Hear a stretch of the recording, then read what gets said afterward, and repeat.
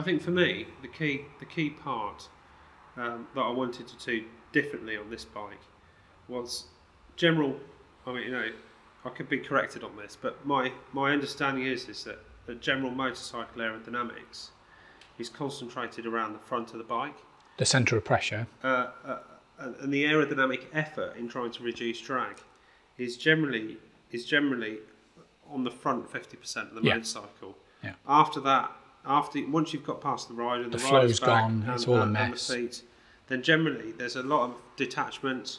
You've got a, a lot of low pressure sat behind the rider, and then at that point, your any surfaces behind the rider really have, have lost any kind of effect on overall performance.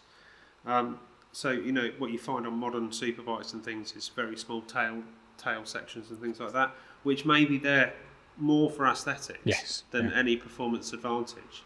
Whereas when we designed this bike, I was absolutely adamant that we would chase the aerodynamic performance not only through the duct but on the external features of the bike from the second that the air was broken by the front of the hugger all the way to the second the, the last millimetre that the air left the bike at the rear.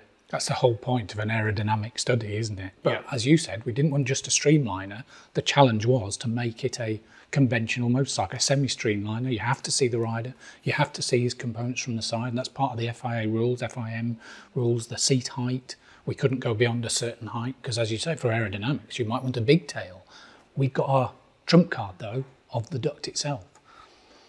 Yeah, I think uh, what we end up with really, when we cut the bike through its section, through its centre point, we end up with, um, I don't know how you would best describe it, but in its side view, you end up with a, an aerodynamic wing wing form, Yeah. which runs across the top of the motorcycle.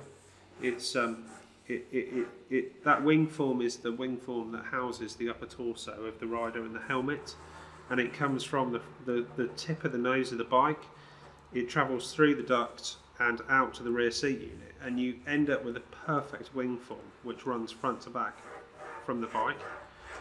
That wing form, as it rotates around the side of the duct, moves into a separate aerodynamic shape which houses the forearms and the lower limbs. So now you're running into um, the sides of the bike and you have a, a, a wing form on either side which houses um, those lower limbs. Yeah, so we had our little tail pieces at the back there for where the back of the heels go in. Yeah. We've obviously got the Venturi. And, and of course, then in the, in the lower area, the things that we can't move or change their place are the wheels. You know, the front and rear wheels, they are a part of the frontal area of the bike that you can't remove. Um, I don't know whether you would want to go down on wheel diameter, but then if you're doing land speed, you'd go up pretty radically on wheel speed.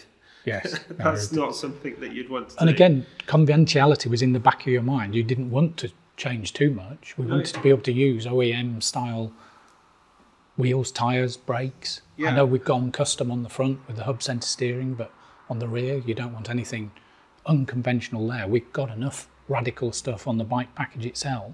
Yeah, it's, it's quite an interesting one because what we've ended up with is all of the powertrain sat in the frontal area of the front and rear wheels. Yeah. Then we've got the, the rider raised to a conventional seat height that sits in an aerodynamic uh, wing cross sectional area and this radial wing that sits around the duct. And, and that is an incredibly aerodynamically efficient shape. Um, sitting on top of the powertrain. You know, the argument would be that you just get rid of the ducts and and take the rider down and sit the rider directly on the powertrain. But that's a GP bike then, and that's not, there's Um, yeah. nothing new there. No, no, no I, I think then that is a specific, a specific bike which is then designed solely for land speed racing, and has no application to the rest of the world. No. You know what we've got here is we've got a rider sat in a conventional position with a conventional seat height. So therefore, with modification, this concept by lowering the feet slightly, you have got the rider in the conventional position as something like a modern superbike. That was the challenge to have a conventional modern superbike, but with the duct through the middle. and that that application doesn't just apply to a land speed record bike. We could be a superbike. It could be any other powered two-wheeler.